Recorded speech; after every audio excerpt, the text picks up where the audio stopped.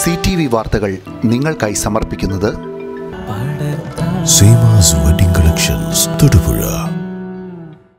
പാതയോരത്തെ തണൽ മരത്തിന്റെ ശാഖകൾ വെട്ടിമാറ്റിയതായി പരാതി. Thodupuzha K S R T സിക്ക് സമീപം മൂപ്പിൽക്കടവിൽ ബസ് സ്റ്റോപ്പിന് സമീപമുള്ള തണൽ മരത്തിന്റെ ശാഖകൾ വെട്ടിമാറ്റി എന്നാണ് ആക്ഷേപം.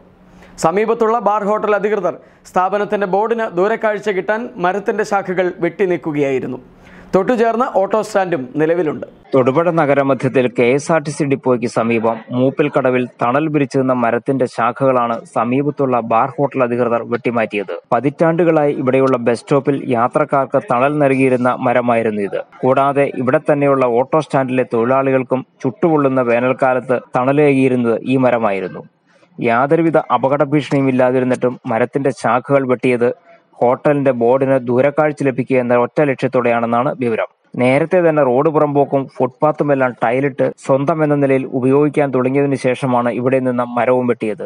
കെ എസ് ആർ ടി സിയുടെ സമീപത്തായതുകൊണ്ട് തന്നെ ഏറ്റവും കൂടുതൽ യാത്രക്കാർ കാത്തു നിൽക്കുന്ന ബസ് സ്റ്റോപ്പുകളിൽ ഒന്നാണിത്. സ്ത്രീകളും കുട്ടികളും വയോധികരും ഉൾപ്പെടെ ഒട്ടനവധി പേരാണ് വെട്ടിയ മരത്തിന്റെ തണലിൽ ബസ് കാത്തു നിൽക്കാറുള്ളത്.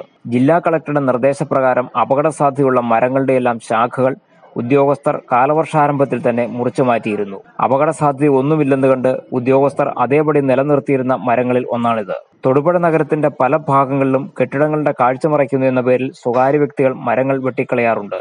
ഇത് വൻ പ്രതിഷേധങ്ങൾക്കും ഇടയാക്കിയിട്ടുണ്ട്.